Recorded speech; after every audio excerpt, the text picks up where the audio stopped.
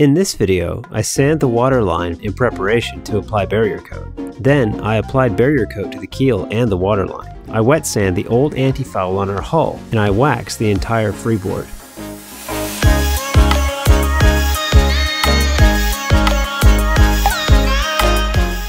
Last time, on sailing Balachandra, I rebedded our forward V-berth hatch. We moved Balachandra into the workyard, and I cleaned the entire hull and topsides.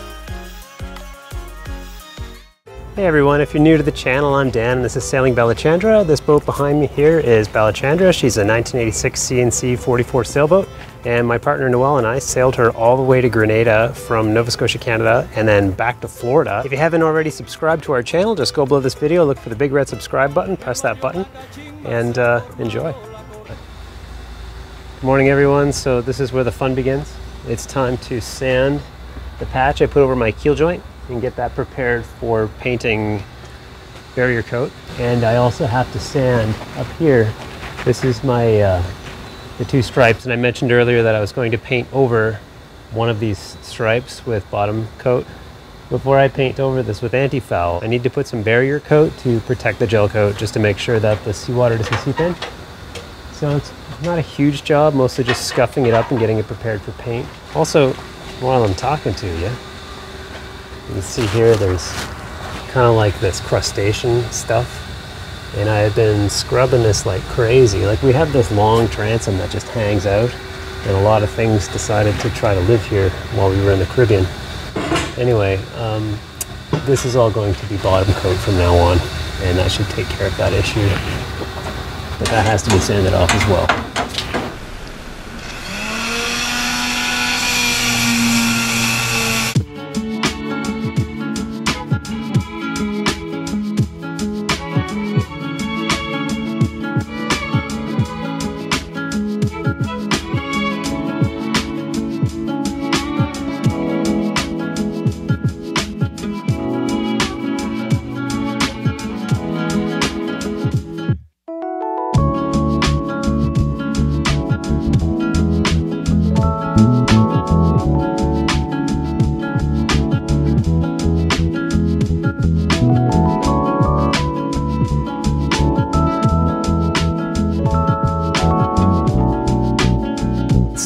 I've completely finished sanding uh, the stripes and the waterline and getting ready to apply barrier coat so I can increase the waterline with anti-foul. There's some spots here where you can see there's actually some red showing through where you can see the previous coat of paint, or I guess gel coat on the boat was red back once upon a time.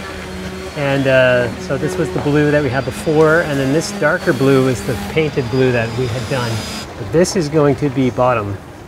I'm going to increase the barrier coat here, then anti-foul paint all the way up to that line.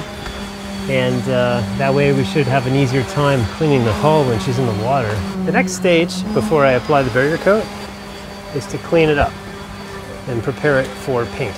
So I'm going to use uh, Total Boat's new uh, dewaxer and surface prep product that they sent us. I've used this several times now on several different applications uh, cleaning metal to cleaning fiberglass to prepping for paint.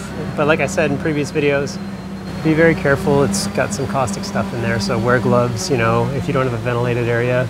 It's nice and breezy here today. I don't think I'm going to be breathing it in. I'm going to be using it on the keel where I have a patch covering the keel joint, and I'm going to be using it to clean up after having sanded the stripe. I sanded it, then I washed it with water, and now I'm going to wash it with this product.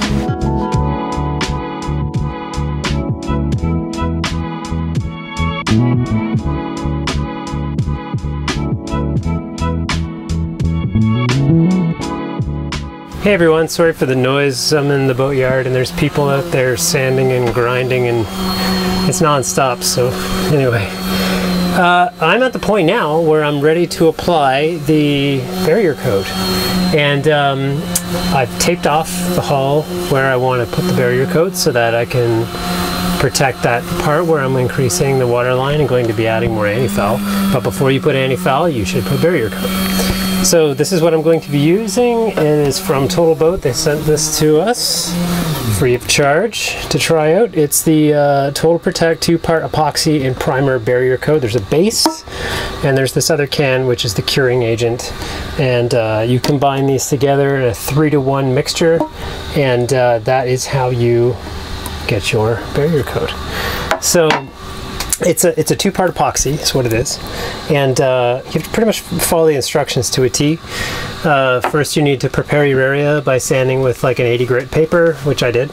Uh, and then you need to clean the surface to uh, clean off any remaining residue and uh, whatever might be there so that the barrier coat will stick properly. So now that that's done, I'm ready to mix up my barrier coat, three to one mixture, and apply it. Now, when you apply this barrier coat, you can wait about 30 minutes to two hours or so, somewhere in there, until it becomes just tacky. Then you apply the next coat. They recommend a minimum of two coats um, but you're, it, it, also says that you can go up to four and five coats depending on, on your needs. Uh, I know that when I did the rudder with barrier coat, I, it was a different brand of barrier coat, but I did four coats of barrier coat on the rudder, but that rudder had never seen any products of any kind. It was just bare fiberglass.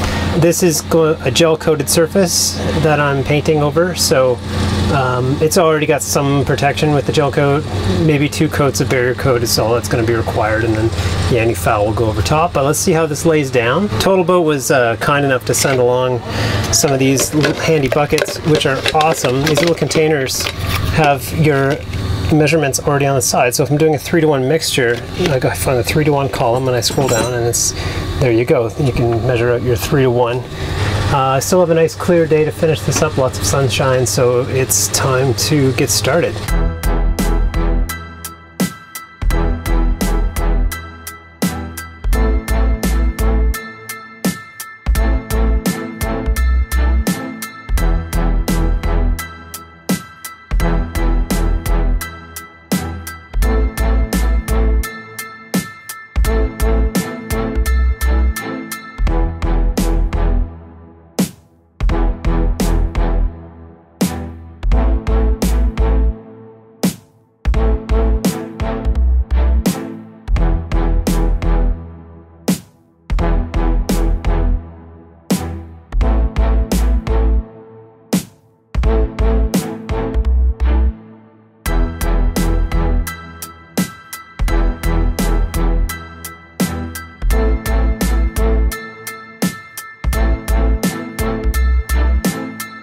It's the start of another beautiful day here at the workyard at Green Cove Springs Marina.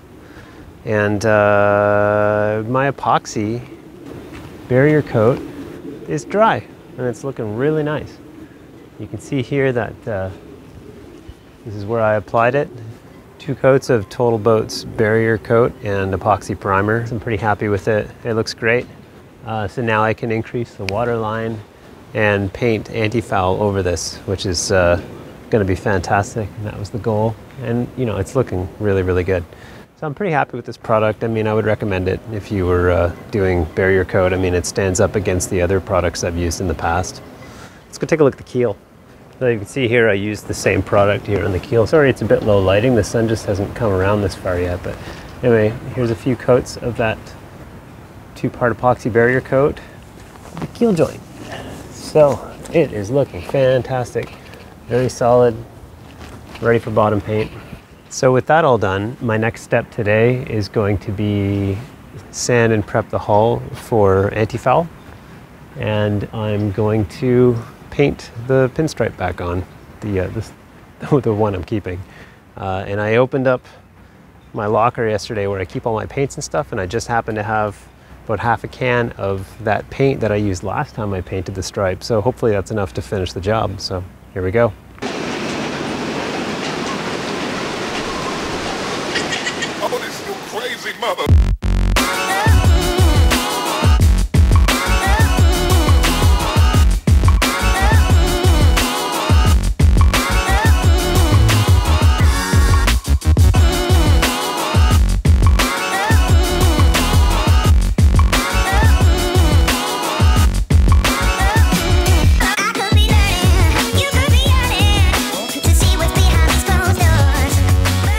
Hey everybody, so uh, again, I apologize for the noise here at the marina. There's literally always someone running a sander or an angle grinder or something.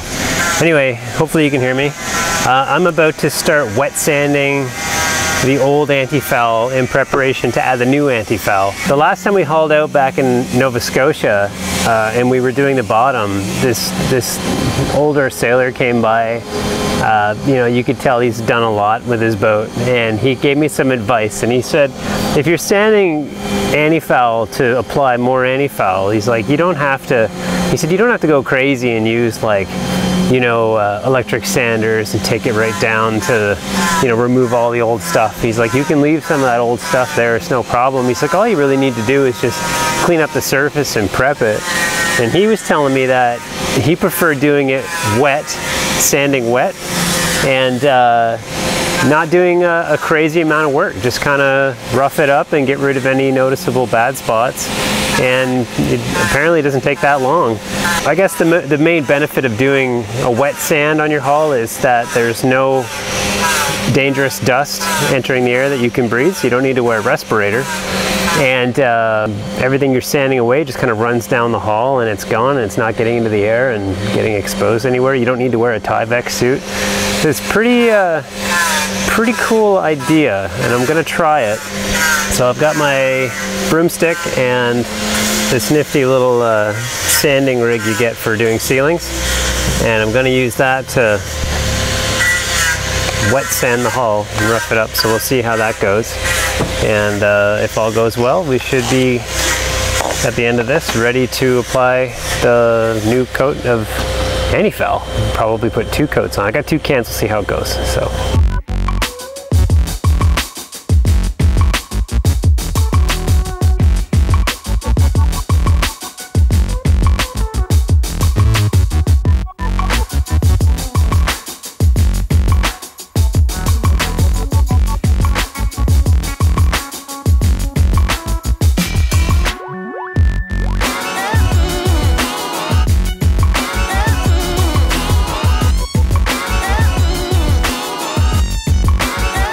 So Nawal and I talked it over and we decided that we're going to put off painting the anti-foul on the boat until we're ready to splash and we're not ready to splash just yet. We still have some more projects we want to do. So the anti-foul project's just going to have to wait. That said, the next step is to apply wax and polish to the freeboard. It's a good idea to wax the freeboard of your boat usually every haul out or as often as possible, mainly because the gel coat that is on your freeboard is susceptible to UV damage and saltwater damage. And over time if you just leave it it's going to eventually degrade. So it's a really good idea to when you get an opportunity to polish it. Total boat sent us this boat wax. It's uh, their premium boat wax to try out. Uh, again free of charge. Get from total boat. Free hat. So uh, we're gonna give this a shot and see how it compares to the wax I've used in the past. Um, it says it's a pretty simple application. I mean, wax is wax. You put it on and you polish it off. This says you can just wipe it off, but I'm excited to use the new polisher sander combo that I bought, which I already used when sanding my keel joint patch and worked incredibly well. So I'm going to be using that tool again to do the polishing on the freeboard. It's it's a bit of a heavy tool. It's something between like an angle. It looks like an angle grinder, but it's somewhere between an angle grinder and a chainsaw. Like it's huge. So um, I gotta find a longer ladder. But anyway, I'm gonna get started and do some of this waxing. Hey everyone, so today I am applying wax to the freeboard trying to get a sheen on it and protect it from salt water and, and damage and today I'm using uh, Total Boats uh, premium boat wax that they sent us for free. It's uh, a tryout of this stuff and um, I've already messed around with this a little bit and I've had some difficulties. I thought from the beginning that I could buff the wax off with my big polisher buffer that I brought down from Canada um, which I used for sanding already. It's dynamite, but for, for polishing it's supposed to also, what's it's mainly a polisher.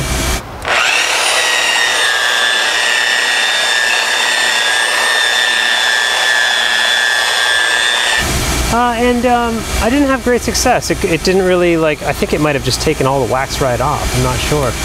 So uh, on the instructions, it says to wipe it on with a wet cloth, give it a bit of time, and then wipe it off with a dry cloth.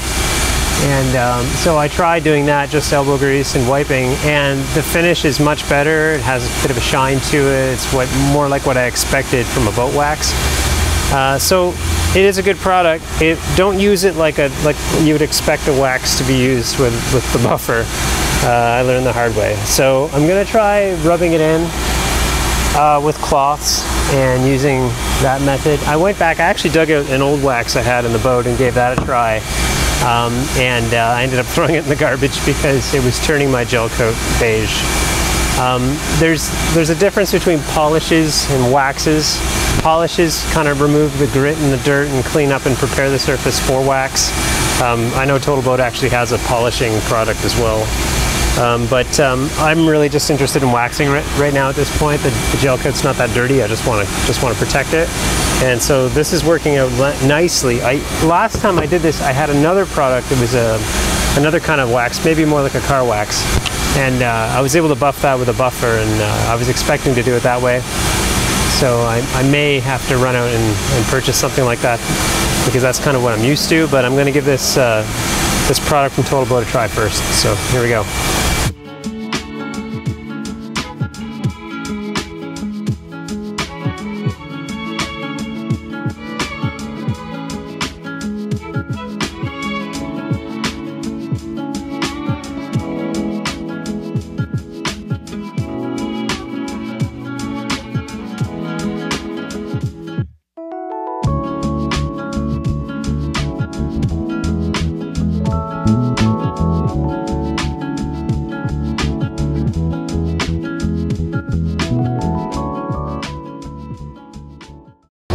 Thanks for watching. If you haven't subscribed to this channel yet, just go below this video, look for the big red subscribe button, press that button, and if you want, you can leave a like or a comment, and if you haven't checked out our Patreon page yet, it's always a good time to do so. Patreon's a place where you can give back, and if you like what we do, you can support us. So thanks very much, and we'll see you next time. Bye.